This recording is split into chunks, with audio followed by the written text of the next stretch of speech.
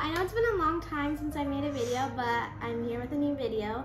And basically, I made some homemade soap and now I'm gonna take them out of this mold.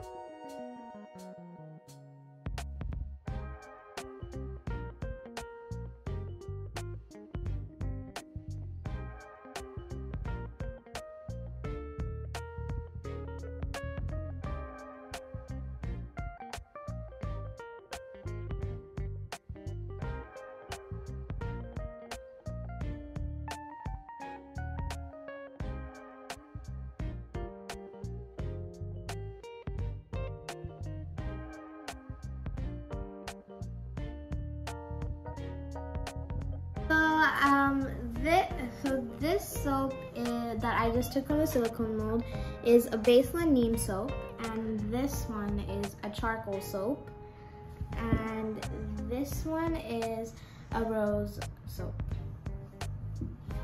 So those are those are all the soaps that we made so far.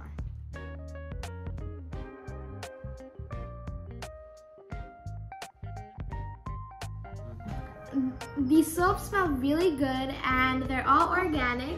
Um, they're very good for your skin and yeah.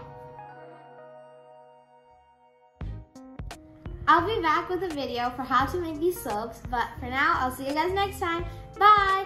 Don't forget to hit the like button, smash that subscribe button, ring the notification bell, and don't forget to share this video. Bye!